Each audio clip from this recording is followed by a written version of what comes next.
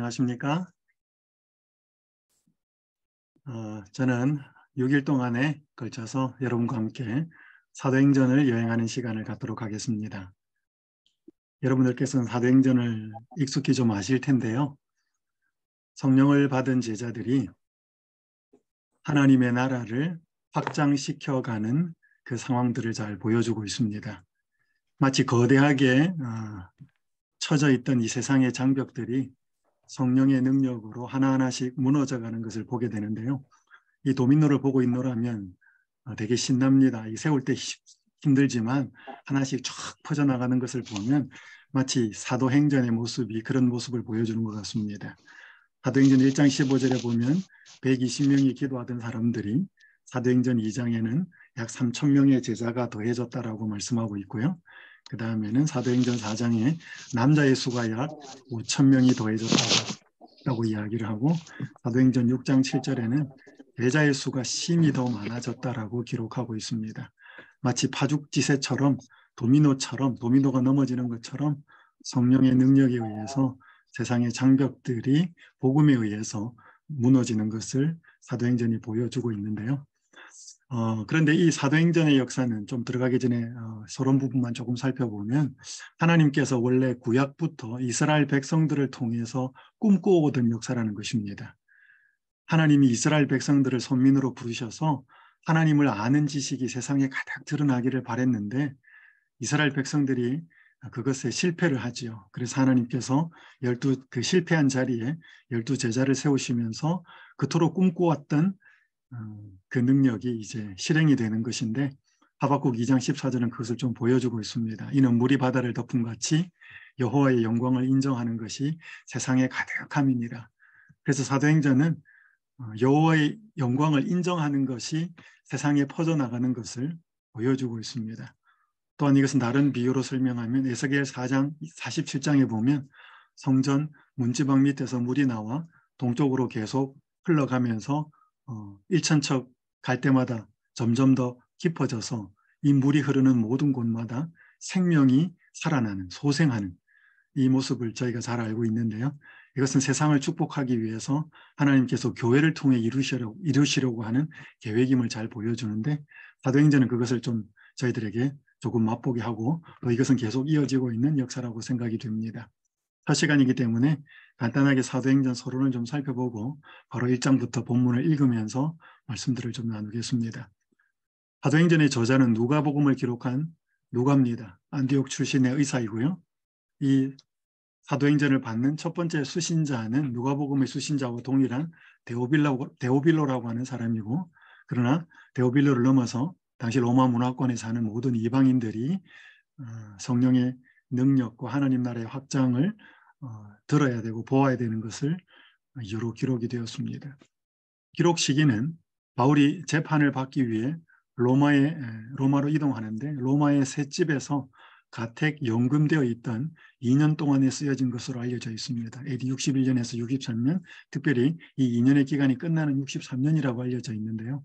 바울이 로마로 출발한 때가 AD 60년 겨울이었습니다.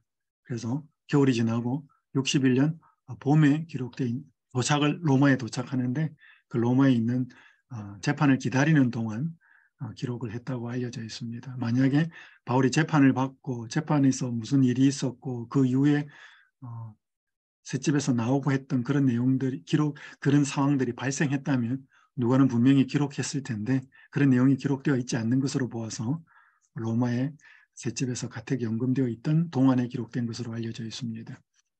누가복음이 뭐 사도 복음서가 다 동일하죠. 누가복음이 성령으로 잉태되어서 출생한 후에 승천하실 때까지의 인자로 사신 예수님을 기록한 예수행전이라면 사도행전은 제자들을 거듭나게 하셔서 땅끝까지 그 당시 이제 기록 당시에는 로마죠. 땅끝까지 복음을 전하게 하신 성령 이야기, 성령 행전으로 이해하시면 되겠습니다. 사도행전은 성령을 받은 제자들이 어떻게 그리스도의 충실한 증인이 되었는지를 잘 보여줍니다. 세 부분으로 나누어져 있는데 조금 뒤에 구조를 살펴보겠습니다. 사도행전은 누가복음의 속편이라고 속편이라고 할 수 있고요. 사복음서와 편지서를 연결해 주는 다리와 같습니다. 사도행전은 초기 기독교의 역사를 기록하고 있는 역사서이기도 합니다. 간단하게 사도행전의 구조를 살펴보면요. 지도를 좀 참고해 주시면 좋겠습니다. 사도행전의 주제절은 여러 가지 어, 중요한 구절이 많이 나오지만 사도행전 1장 8절이라고 할 수 있습니다. 오직 성령이 너희에게 임하시면 너희가 권능을 받고 예루살렘과 온 유대와 사마리아와 땅 끝까지 이르러 내 증인이 되리라 하시니라. 어, 그럼 사도행전에 성령이라는 단어는 42번 나옵니다. 그런데 그 성령이라는 단어의 대명사까지를 포함하면 약 70번이 나오고요. 증인, 증거, 그 다음에 증거하다라고 하는 단어는 27번이 나오는데 특별히 증인이라는 단어는 13번이 나옵니다. 이 사도행전에서 제일 중요한 단어는 성령이라는 단어와 증인이라는 단어입니다.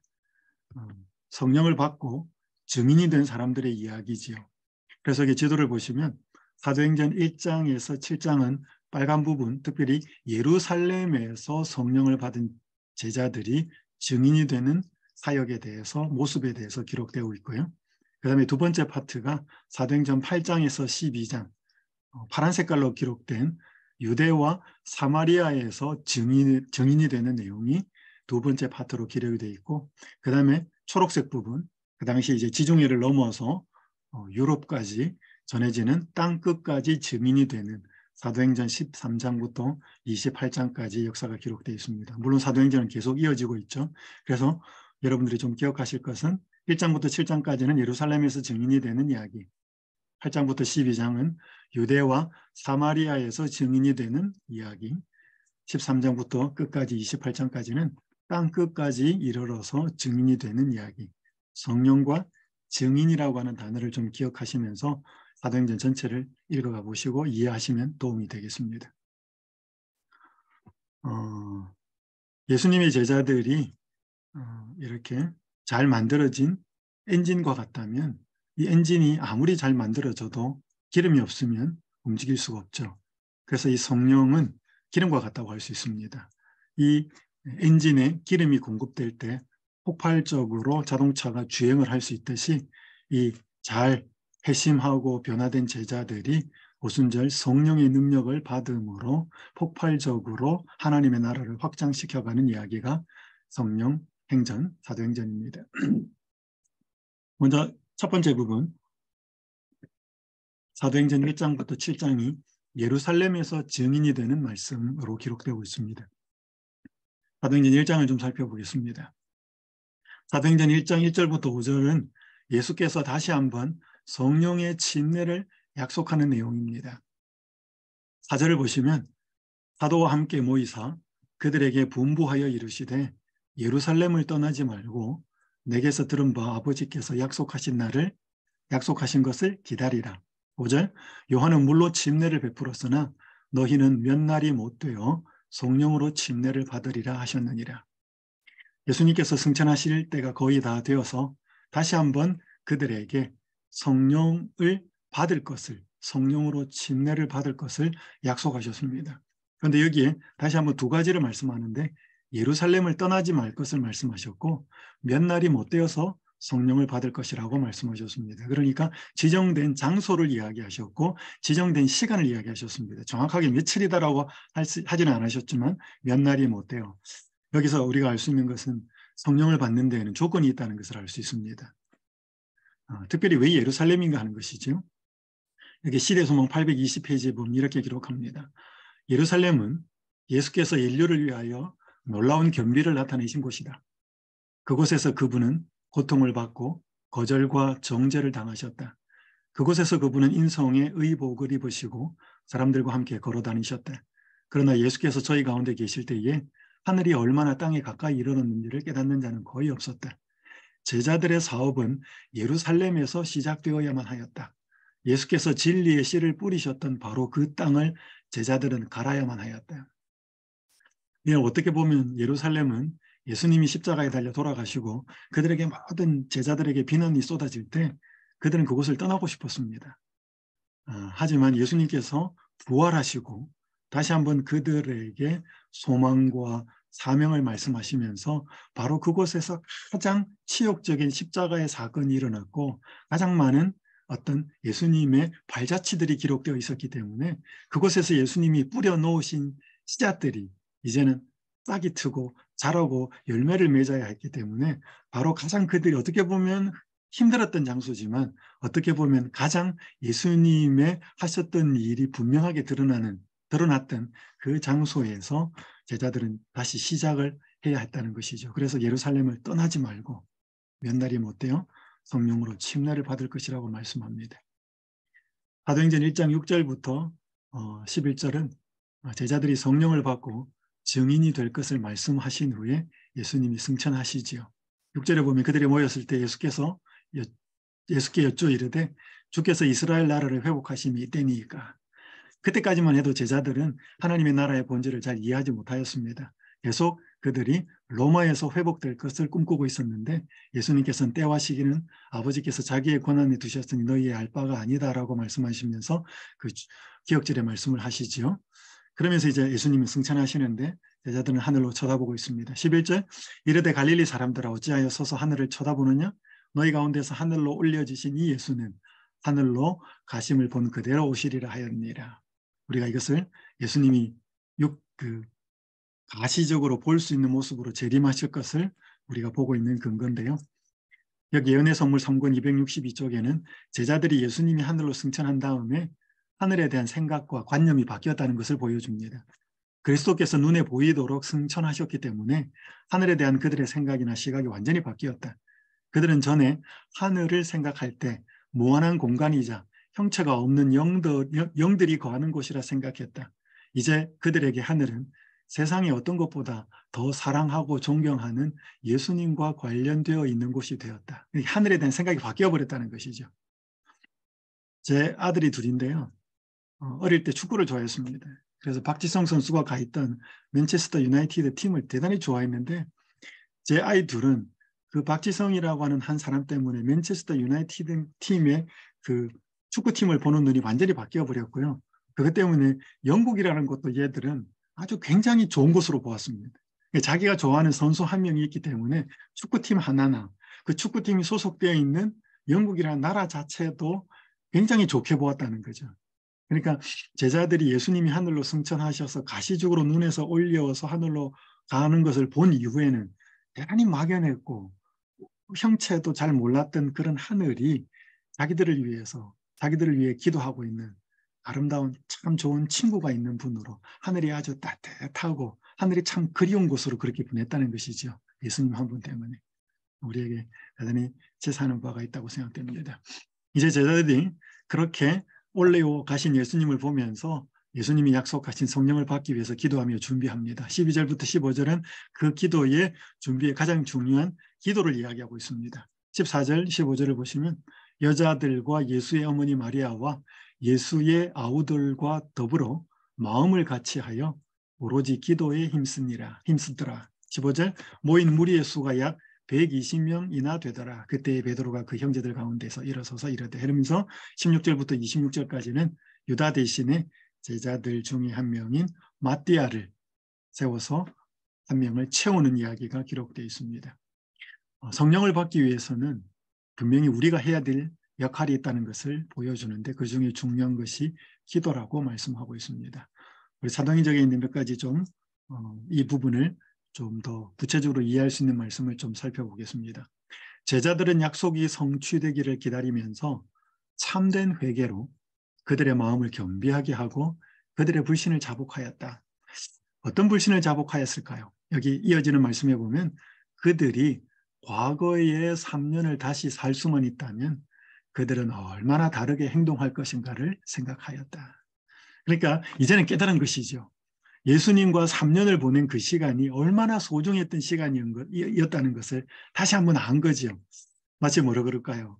사랑하는 가족과 누구와 같이 있을 때는 그 사람의 존재의 가치를 잘 몰랐는데 멀리 떠났다거나 아니면 사별을 했다거나 그런 상황이 되었을 때, 야, 그 사람이 같이 살았던 그 시간 가까이 있었을 때의 시간이 이렇게 소중하고 참으로 의미 있고 행복한 시간이었구나라는 사실을 깨달으면 다시 한번 그때를 살 수 있다면 내가 그렇게 말하지 않고 그렇게 행동하지 않고 그렇게 했을 텐데 그것들을 자꾸 자꾸 기억하면서 자신들이 잘못했던 말과 행동들을 진심으로 기도했다는 것이죠. 우리가 성령을 받는 데 있어서 아주 결정적으로 중요한 우리의 삶에서 돌아보아야 될 말씀입니다. 또 사도행전 37페이지는 이렇게 기록합니다. 제자들은 사람들을 만나기에 적합하게 되도록 그리고 매일의 교제에서 죄인들을 그리스도께 인도할 수 있는 말을 할 수 있도록 매우 열렬히 기도했다. 불화와 재산권을 잡으려는 모든 욕망을 버리고 그들은 그리스도인 교제를 통하여 모두 친밀해졌다. 기도의 제목이 바뀐 거죠.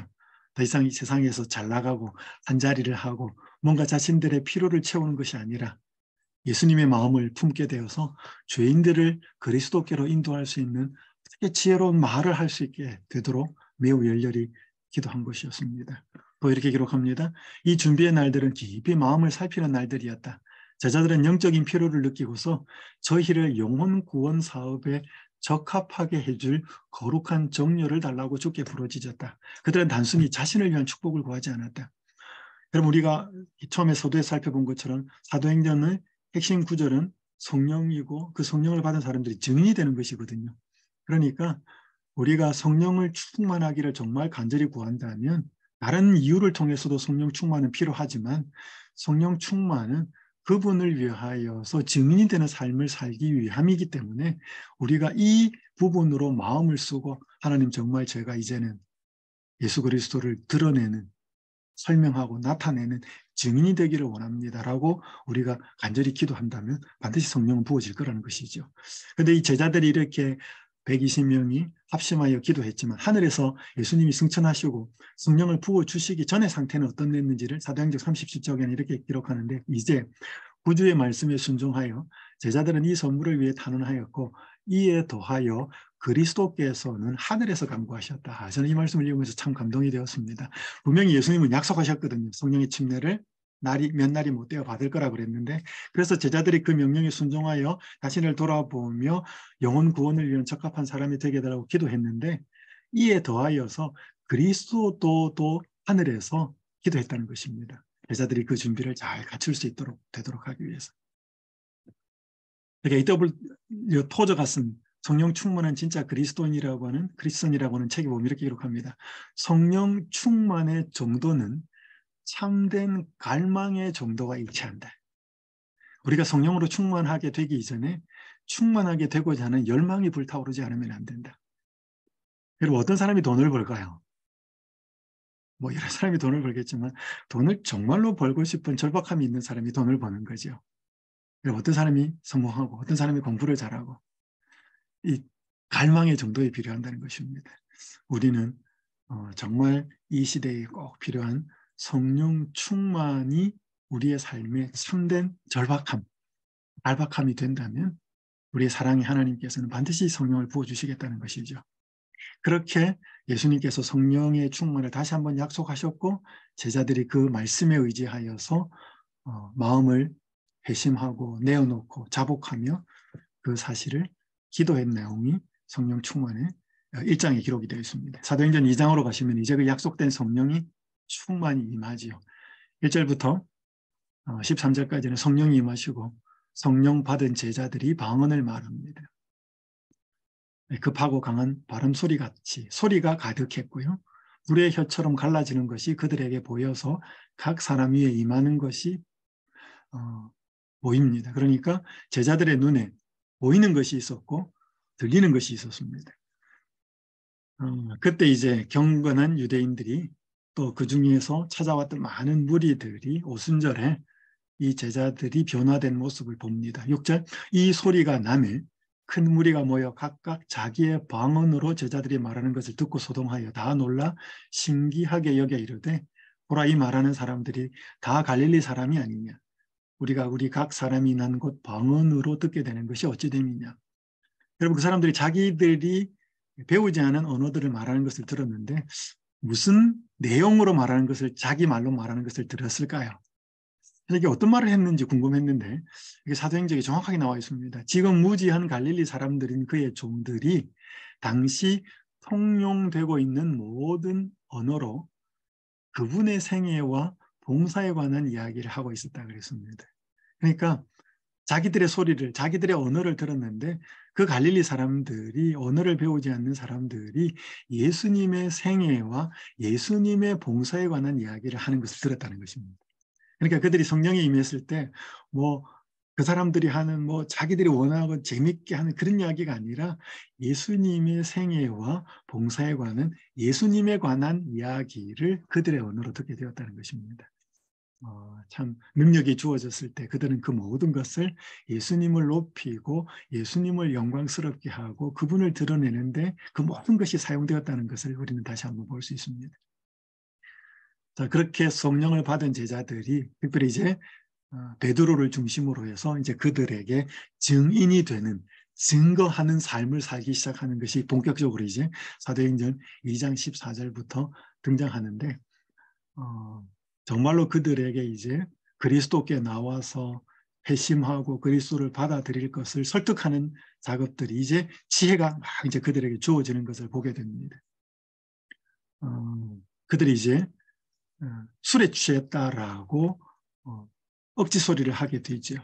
그때 이제 베드로가 2장 15절에 때가 3시 오전 9시이기 때문에 그렇게 6월절에 모여 있는 어떤 그런 것들로 취할 상황이 아니다. 그러면서 선지자 요엘을 통하여 말씀하신 어, 예언의 성취라고 하는 것을 말씀하면서 요엘서 2장에 있는 말씀을 언급하면서 17, 18, 19, 20, 21절까지를 설명한 다음에 곧바로 어, 베드로는 그들이 예수 그리스도에 대해서 어떤 해를 가했는지를 설명합니다. 22절 이스라엘 사람들아 이 말을 들어라. 너희도 아는 바와 같이 하나님께서 나사렛 예수로 큰 권능과 기사와 표적을 너희 가운데서 베푸사 너희 가운데서 너희 앞에서 그를 증언하셨느니라. 하나님이 예수를 그렇게 드러내셨고 말씀하셨는데 23절 그러나 하나님께서 정하신 뜻과 미리 아신 대로 내준 바 되었거늘 너희가 법 없는 자들의 손을 빌려 못 박아 죽였으나 하나님께서 그를 사망의 고통에서 풀어 살리셨으니 이는 그가 사망에 매여 있을 수 없었음이라 없었음이라 여러분 이후에도 비싼 이야기가 계속 나옵니다. 사도들이 성령을 받고 예수님을 증거할 때 너희가 예수님을 못 박아 죽였다. 너희가 죽인 사람이 그 사람이 보통 사람이 아니고 하나님이 보내신 메시아 그리스도다. 그러나 그가 그렇게 돌아가셨지만 하나님께서 그를 살리셨다. 그래서 제자들이 어, 사람들 앞에 증거한 그 증거의 내용의 핵심은 십자가의 죽음과 아, 부활이었습니다. 그 부분은 계속 이후에도 반복이 되고 있습니다. 그러면서 이제 바울이 어, 저기 베드로나 사도들이 어, 유대인들에게 어, 일단 여기는 예루살렘에서 증인이 되는 부분을 계속 설명하고 있으니까 구약을 많이 인용합니다. 이방인들에게 갔을 때는 또 좀 다르지요. 왜냐하면 그들은 구약을 알고 있었기 때문에. 그래서 그들이 알고 있는 시편 16편 25절에는 다윗이 그를 가리켜 말씀하신 것을 이야기하면서 27절 이는 내 영혼을 음부에 버리지 아니하시며 주의 거룩한 자로 썩음을 당하지 않게 하실 것입니다. 시편 16편에서 다윗이 이 내용을 언급한 것을 우리는 그 시편 16편을 읽어보면 예수님이 부활하신 것을 잘 찾지를 못합니다. 그런데 베드로가 이 내용을 언급하면서 예수님의 부활에 적용한 것으로 보아서 우리는 이 부분을 그렇게 예수님의 부활과 연관시켜서 생각을 할 수 있습니다. 계속 이야기합니다. 31절 미리 본고로 그리스도의 부활을 말하되 그가 음부에 버림이 되지 않고 그의 육신이 육신이 썩음을 당하지 아니하시리라 하더라. 그러니까 그리스도의 죽음과 그리스도의 부활을 이제 구약을 인용하면서 계속 또 다윗을 이야기합니다. 또 36절 너희가 십자가에 못 박은 이 예수를 하나님이 주와 그리스도가 되게 하셨느니라. 계속 그들이 증언한 예루살렘에서 증언한 핵심은 그리스도의 죽으심과 어, 부활이었습니다. 여기 사도행전 45페이지 이렇게 말씀합니다. 비록 분명하고 설득력이 있다 해도 사도들의 논증만으로는 그 많은 증거를 거절하던 편견을 제거하지 못했을 것이다. 그러나 성령은 하나님의 능력으로 그 논증들이 심금을 울리게 하셨다. 그러니까 단지 그들이 조직적으로 구약의 말씀을 인용하고 잘 설명했다고 해서 설득이 된 것이 아니라 성령이 그들을 증인되게 하셨을 뿐 아니라 능력으로 그 말들이 그 설교들이 그 증거들이 사람의 마음에 신금을 울릴 수 있도록 역사하셨다는 것이죠. 우리가 모두가 이렇게 예수님을 소개할 때 이런 능력이 우리에게 임했으면 좋겠습니다. 뭐 성령의 능력은 아무리 강조해도 지나치지 않죠. 저희가 그걸 위해서 이렇게 새벽 기도를 하는 것이지요. 하나님의 은혜의 부요함이 땅으로 흘러내려 사람들에게 이르지 않는 것은 하나님 편에서 어떤 제한을 가하시는 것 까닭이 아니다. 약속의 성취가 기대한 만큼 나타나지 않는다면 마땅히 감사히 여겨야 할 만큼 그 약속을 감사히 여기지 않았기 때문이다. 원한다면 모든 사람이 다 성령의 충만함을 받을 것이다. 주께서는 부모가 자식에게 좋은 선물을 주기를 원하는 것보다 당신을 섬기는 자들에게 성령을 주시기를 좀 더 원하고 계신다. 모든 교역자는 매일 성령의 칭례를 위해 하나님께 단원해야 한다. 우리 다시 한번 약속의 말씀 새길 필요가 있습니다. 성령을 받은 자들이 그렇게 설교할 뿐 아니라 성령을 받은 제자들이 함께 연합하는 뭐 아름다운 모습이 등장합니다. 하나님께서는 구원받는 자를 그들에게 더 하시지요. 왜냐하면 사랑으로 준비가 되었기 때문에 사람들을 보내어도 감당할 수 있기 때문에 하나님께서는 보내는 것이죠. 사실 출제 하나님을 찬미하며 또 온 백성에게 칭송을 받습니다. 주께서 구원받는 사람을 날마다 더하게 하시니라. 그러니까 이것은 자기들이 뭘 제자들이 잘해가지고 사람들이 밀려오는 것이 아니고 주께서 보내어 주셨다는 사실을 이게 하나님께서 하신 일이라고 하는 것을 제자들은 분명히 느끼죠. 여기 온 백성에게 칭송을 받는 내용들이 이제 사도행전 3장부터 좀 나타납니다. 자, 사도행전 3장에 보시면 어, 여러분들이 어, 많이 설교 때도 들으셨고 읽으셨던 베드로와 요한이 성전에 기도하러 올라갔을 때 앉으면서 태어나면서부터 안전병이 된 사람들이 한 사람을 어, 고치고 그걸 통해서 다시 한번 또 그리스도의 증인이 되는 모습이 나오는데 여러분 이 내용은 여러분이 어, 사도행적을 읽어보시면 멀리 살던 사람이었는데 나사렛 예수의 소식을 듣고 와서 고침을 받고 싶었지만 이미 늦어서 예수님이 십자가에 돌려 돌아가시고 하늘로 승천하셨다는 것을 알고 절망하지요. 그때 이제 친구들이 그러면 성전 앞에 데려다 놓을 테니까 사람들 많이 오는 데서 구걸이라도 해서 먹고 살아라. 그렇게 데려다 놓은 것을 알 수 있습니다. 사절 보시면 베드로와 베드로가 요한과 더불어 주목하여 이르되 우리를 보라. 무엇을 얻을까 하여 바라보지요. 6절 베드로가 이르되 은과 금은 내게 없거니와 내게 있는 이것을 내게 주노니 나사렛 예수 그리스도 이름으로 일어나 걸으라 하고 오른손을 잡아 일으키니 발목 발과 발목이 힘을 얻고 뛰어서서 일어나지요. 자 소동이 납니다. 엄청난 어, 주목이 되는데 12절 베드로가 이것을 보고 백성에게 말하되 이스라엘 사람들아 이 일을 왜 놀랍게 여기느냐 우리 개인의 권능과 경건으로 이 사람을 걷게 한 것처럼 왜 우리를 주목하느냐. 여러분 에게 두개 중요한 문구가 나오는데 우리를 보라라는 문구와 왜 우리를 주목하느냐라고 하는 문구가 있습니다. 음, 처음에 베드로와 요한은 자기를 주목시킵니다. 그리고 능력이 나가죠. 그런데 사람들이 베드로와 요한이 어마어마한 능력을 행했기 때문에 그들을 보면서 주목하죠. 그때 베드로는 왜 우리를 주목하느냐라고 하면서 시선을 딴 분에게로 돌립니다. 그 시선은 바로 예수 그리스도지요. 어, 저는 이 모습을 보면서 우리의 교회가 우리의 그리스도인 재림 신자가 보여줄 것이 있어야 된다고 생각됩니다.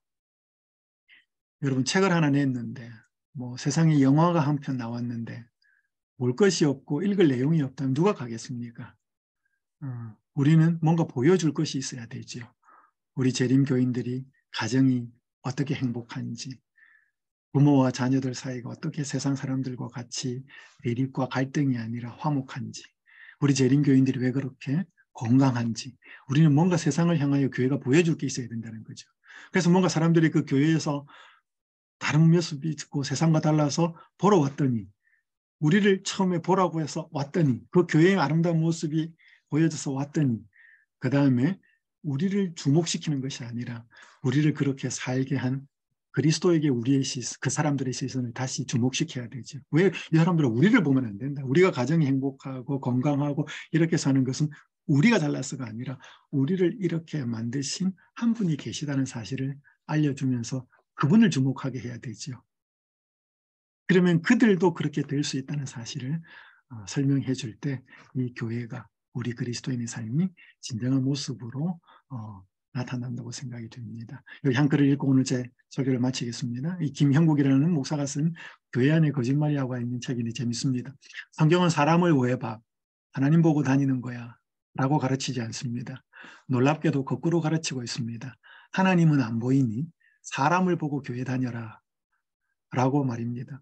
하나님은 보이지 않으니 하나님을 보여주는 사람들, 그들의 공동체를 보고 교회를 다니라는 것입니다. 이것이 피할 수 없는 성경의 가르침입니다.